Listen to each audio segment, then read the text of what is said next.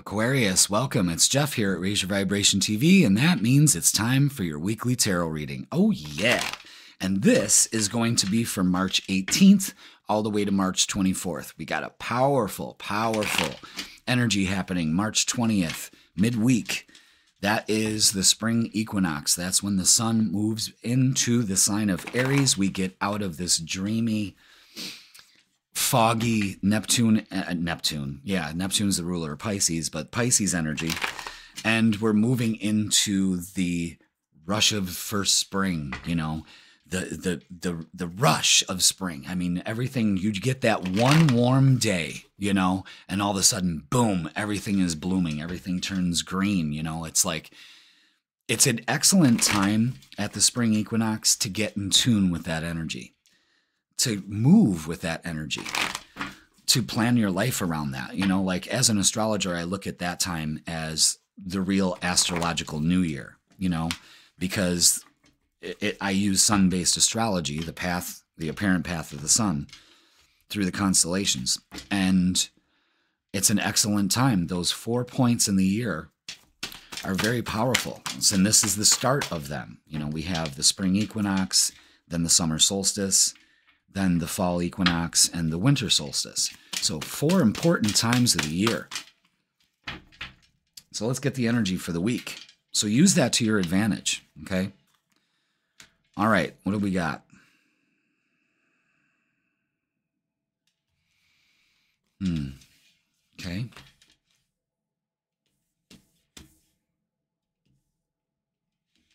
Hmm. Yeah, and all of a sudden, boom, this energy changes, man. Wow.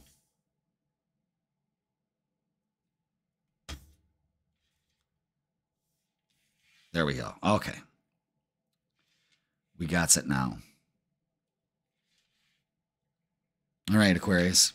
Here's what we got the devil, the moon, the ace of swords, the seven of wands, the king of wands, the two of wands, and the six of wands. There is a lot of change here there is a lot of change. However, what they want you to focus on for the week is the Seven of Wands energy. This is protect your energy.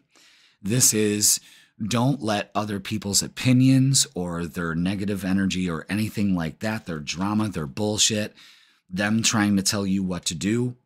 You have to stand your ground. You have to have boundaries. You know, this is also protecting your energy and knowing that it's solar plexus energy, you know, you can see that right there. Confidence. I can do this.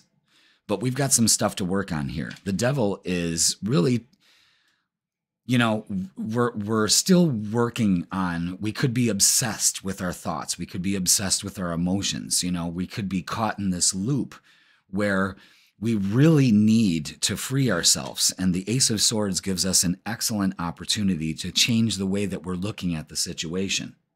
Okay. So we really need to focus on getting through this. And this is kind of like dealing with emotional demons. This is emotional releasing. I mean, you're definitely going to do it because the Seven of Wands, it's like all of a sudden, like, look, the auric field around her is just booming with beautiful energy. So that's what you need to kind of put your focus in on this week is protecting your energy, standing your ground, saying, I got this. And because all this change here, all these wands, the King of Wands is that energy, that fiery energy of I'm gonna I'm, I'm doing this. I'm I'm moving forward. I have the courage of the lion. You could be dealing with a Leo here too. So take a hint from them. You know, it's the opposite sign of your sign and you know you can both learn something from each other. But what this is this king of wands energy is moving forward standing your ground and having the confidence to move forward. This could be making travel plans making a lot of plans a lot of plans for the future. You, know all of a sudden every all the lights are green for you. And the outcome the six of wands is you focusing on success. It's recognition. It's it's well deserved reward. And damn aquarius you can't get any better than that but it takes you placing some boundaries up, you know, and not letting your emotions and that temptation of being obsessed in your thought patterns. You know what I mean? You got to stop it in its tracks. So let's get some clarifiers. And that energy feels like you know, how it's running through me now is kind of like uh, almost like adrenaline. I'm feeling that, you know, you can feel that. So you need to protect yourself. You don't want to do burnout, you know, you don't want to just ignite this and then just let it burn really fast. You want a slow burn, Aquarius, a slow burn. And there's nothing wrong with that. Okay. So let's get some clarifiers and see what they got to add to the story. Is that it? Yep. Okay. Wow. More Leo energy. All right. Five of Swords is, you know, yeah, I think you're ready. This is change. This is change of you walking away from thoughts that no longer serve you. You're looking at your past and going, fuck it, man. You know, the 10 of Wands is you. Again, more wands, more change. You're done carrying this burden. You're done. You're releasing this. And the sun, again, solar plexus energy. This is all about confidence because it pays off here. I mean, this is an Aquarius getting really confident. I know sometimes that can be tough, but with the sun's energy, the sun does not ask permission to shine. It just fucking does. And that's what you have to do. Like I said, take, take a few notes from your opposite sign, Leo. Confidence. I can do this. I am worthy. You know, I am strong. I am successful. I am talented. I am creative. You know? Okay, let's get some oracles and see what they add to the story. What messages do we have for Aquarius? What other messages do we have for Aquarius? What do we need to know? Yeah, that one wants to come out. What other ones? Oh, there they are. Boom. Okay. One fell on the floor. Oh my God, you cannot make this shit up. You cannot make this shit up. Holy shit. All right, let's do this one at a time. Okay it is time. I'm going to tell you something, Aquarius. I, have I've done air signs readings. You're the last air sign to do for the morning, and as soon as this all started to play out, my energy level has just gone up. Like I just like like drank three cups of coffee or something. It's like unbelievable. Like all of a sudden, boom, this energy just fucking hit. All right. You have to use your wisdom and spiritual strength this week in order to wrestle these demons. And the biggest thing for you to do is to emotionally withdraw from the situations that you keep running in your mind, or even if it's in the past, let it go. All right?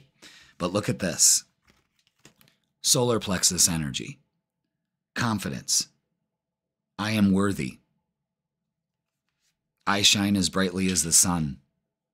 Look at all these three, how they come together. And it's three and another five. Pay, pay attention to 555. This is encouraging change. This is you speaking your truth into the universe. This is you speaking your truth in everything.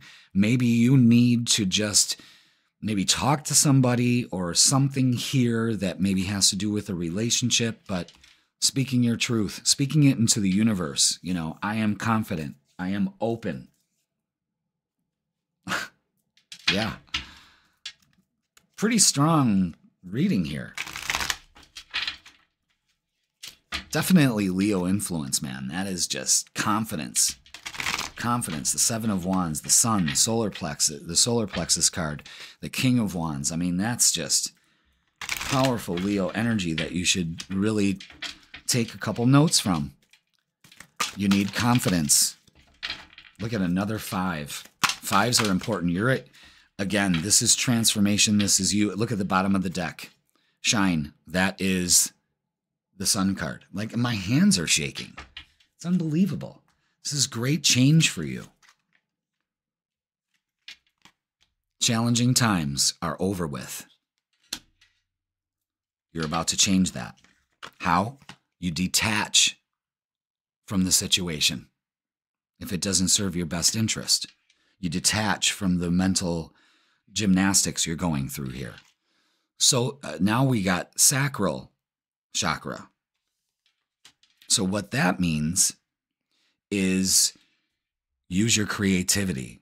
You're going to be using a lot of creativity, and you have to be confident that the creativity that is coming through you from the divine is harnessed in a way that is beneficial to you. There is great change going on here, Aquarius. All right, let's look at love. I mean, why not? Look at all this energy that's going on for you. It's it's it's releasing. There's a lot of releasing going on this week. You're going to be busy doing that. And it looks like busy just focusing on success. That's all it is, man. Oh my god, you've got to be kidding me. Look at the card that came out. it's another fucking Leo energy. 8 distills 2024 distills down to 8. And that is the strength card. That is self confidence. That is taming that lion energy. But what that also means is that 2024 is your year. Look at all of that. That is incredible. Now, oh my God. And then we have the Queen of Wands energy out here with the King of Wands. Wow. An end to challenging times, detaching from the past you know, there's some emotional issues that you need to let go of. You know, just let it go. And confidence will get you to where you're going.